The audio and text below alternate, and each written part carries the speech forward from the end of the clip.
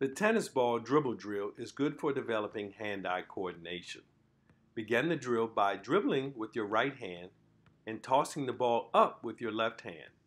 Start off with short tosses, then progress to higher ones. Work on catching the tennis ball 10 times and then switch sides. Focus on staying low in your stance, your back straight, and your head up.